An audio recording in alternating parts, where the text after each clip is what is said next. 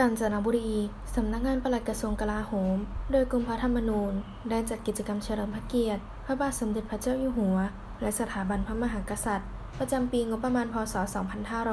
2566 ผู้สื่อข่าวรายงานว่า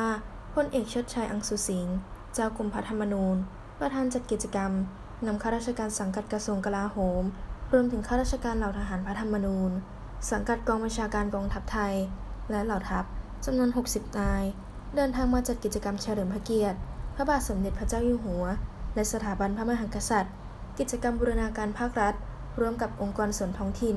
และประชาชนในพื้นที่ณอุทยานประวัติศาสตร์เมืองสิงห์ ตำบลสิงห์ อำเภอไซโยก จังหวัดกาญจนบุรี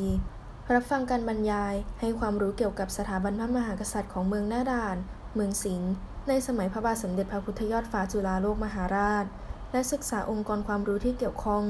รวมทั้งได้จัดกิจกรรมบำเพ็ญประโยชน์ ทำความสะอาดและปรับทัศนียภาพ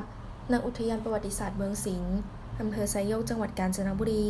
ร่วมกับหน่วยงานของรัฐ และภาคประชาชนในพื้นที่ มิติชุมชน บ้าน วัด และโรงเรียน โดยมีผู้แทนมณฑลทหารบกที่ 17 หัวหน้าอุทยานปราสาทเมืองสิงห์นายกองค์การบริหารส่วนตำบลสิงห์ปลัดองค์การบริหารส่วนตำบลสิงห์กำนันตำบลสิงห์ผู้นำชุมชน และประชาชนในพื้นที่รวม 120 คน เข้าร่วมกิจกรรม ข่าวนิว 24 การจนบุรี ปีชาไรวาริน รายงาน